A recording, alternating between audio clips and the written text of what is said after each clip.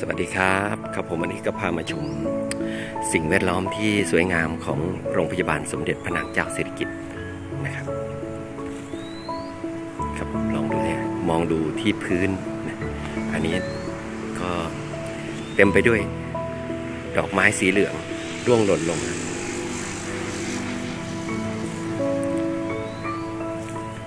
หลายคนจะสงสัยว่าเอ๊ะมันคือดอกอะไร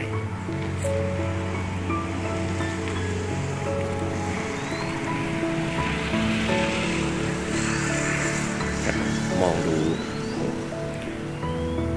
พื้นนี่เต็มไปด้วยดอกสีเหลืองละลานไปหมดเลยละลานตา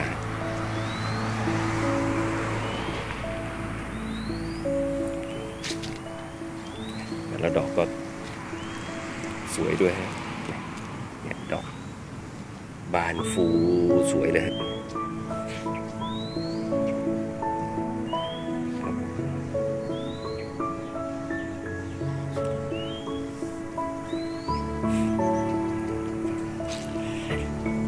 นี่ก็คือดอกของ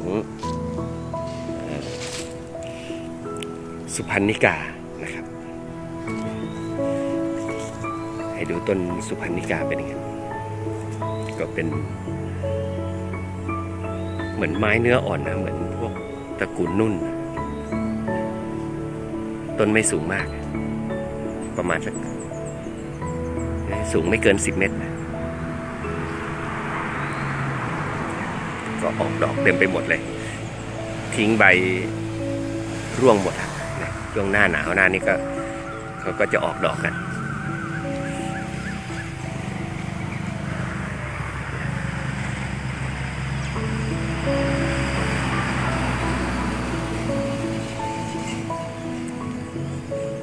เรามองมาดูในระยะไกลเนี่ย จะเห็นดอกสีเหลืองเต็มต้นเลย สวยงาม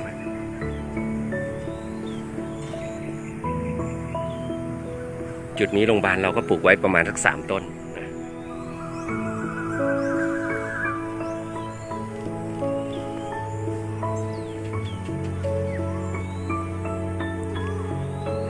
มองดูไกลๆก็สวยดี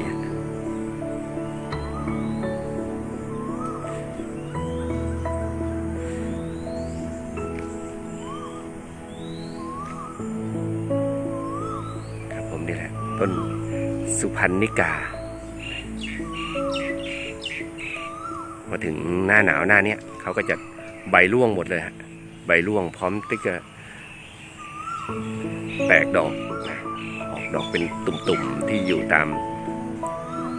ส่วนปลายของแต่ละกิ่ง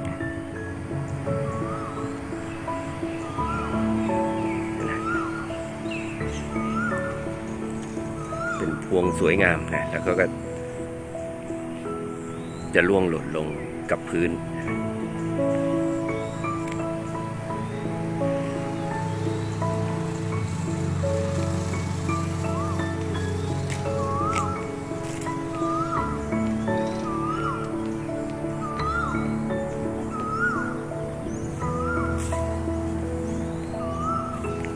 ครับผมเนี่ยอันนี้ก็เป็น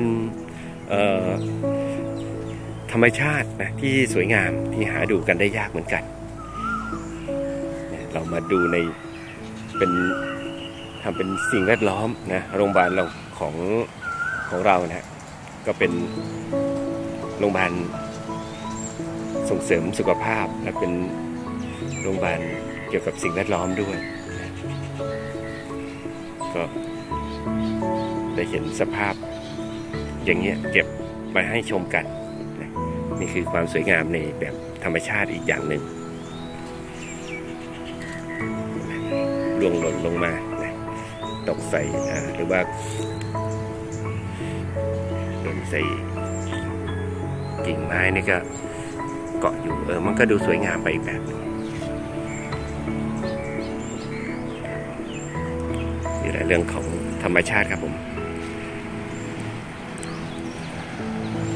ครับ ขอบคุณครับที่ติดตามช่องกิตในยสารพีชอบก็อย่าลืมกดไลค์กดแชร์กันนะครับ สวัสดีครับ